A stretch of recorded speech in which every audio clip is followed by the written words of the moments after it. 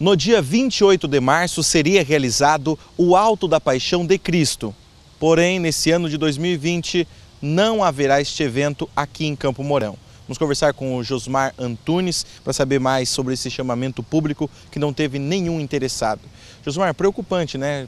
Teve aí o carnaval, não teve ninguém que quis participar. Agora o Alto da Paixão de Cristo também não teve nenhum que queria participar.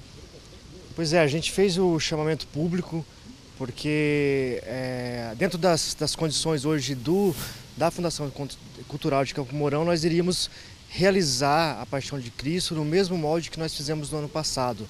No ano passado nós fizemos, por meio da parceria com a Fraternidade O Caminho, realizamos o Alto da Paixão com ele, com eles. A, a Fundação Cultural ela ajudou por meio de contratação de equipamento de som, de luz é, e cenário, né, mais essa parte de produção que foi feito.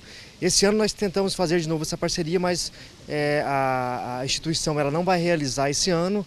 Nós fizemos um chamamento público em busca de parceiros para estar tá realizando o evento né, com outras instituições, mas infelizmente não recebemos nenhuma, nenhum interessado.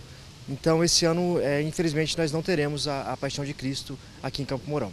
Se fosse para o município realizar este evento sem essas empresas, ficaria muito caro, né? Um valor mais ou menos 50 mil reais? É a produção total da Paixão de Cristo, como foi realizado em outros anos, era de 50 70 mil reais, porque é uma produção muito grande. A gente tem desde os cachê dos artistas que estão envolvidos, até o cenário, até o som. Então é um cachê, é, é, um, é um, um custo alto para se fazer.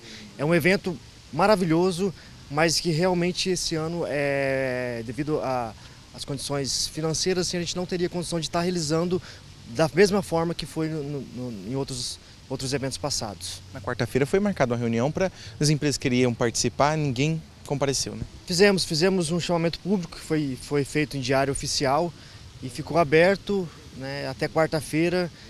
E até quarta-feira, que era o último dia, nós ficamos aguardando e realmente ninguém apareceu, nenhuma instituição. Então, infelizmente, não, não conseguimos é, é, concretizar para se fazer o evento esse ano.